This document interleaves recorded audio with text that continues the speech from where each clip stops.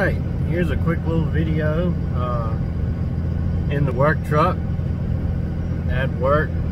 Got to run up the road a little ways for a minute, but uh, just had a quick thought a few minutes ago about carrying a gun and, and carrying every day and, and all that stuff.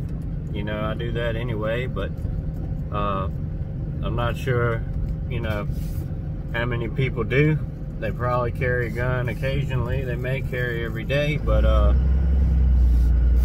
you never know what's going to happen or when you're going to need one.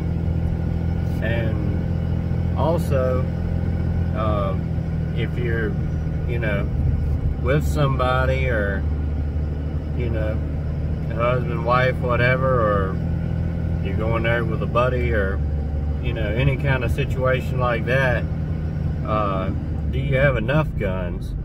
If you just carry, you know, one gun for yourself, you know, if you have to get, you know, split up or something really bad happens and you have to try to make it home or make it wherever, it would be a lot better to have two guns than to have one gun.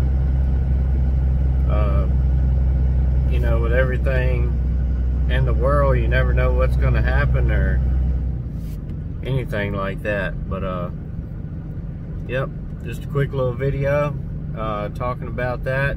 Maybe get you thinking about it. Uh, we're out in the woods today, and I'll just say that it's more guns in this truck than there are people, you know, at our in our crew at the woods.